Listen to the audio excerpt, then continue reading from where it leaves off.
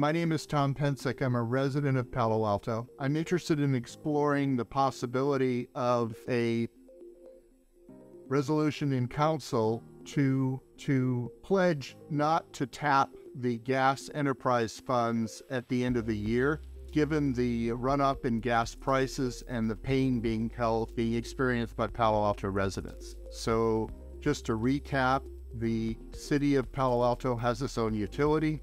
They collect money for based on their rate structure to fund that utility.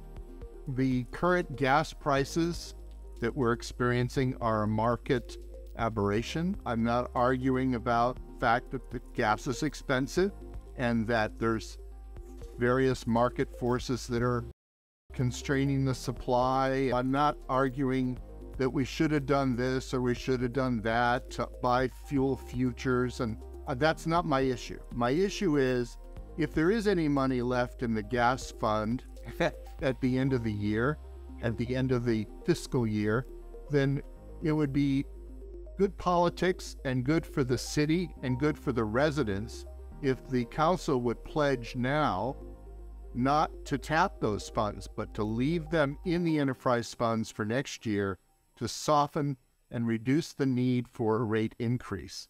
People's bills have doubled, sometimes in some cases quadrupled, and and it's really hurting a lot of people, right? Not this impression that everyone here in Palo Alto is rich, and there are some really rich people here, but for the most part, not everyone here is rich, and an increased cost has really hurt a lot of families. So I appreciate you bringing this up. And what you're talking about in terms of the gas transfer is correct. What you said is largely correct, which is the city was found to be illegally transferring gas the funds from our enterprise our gas to the general fund and we got sued over it and the court ruled against us and so that's why we had to in measure l the last election we had to put something on the ballot to to legalize it right so the rates people think the rates are just purely the commodity cost, right? They think it's just the higher price of gas, but it's not true, actually, right? The higher rates are due to the fact that we gave raises. So the same night that we doubled the gas rate, and the same night we quadrupled the hydro rate for electricity, we gave raises to all the senior management in our city and all the high-speed employees. So, so we did that.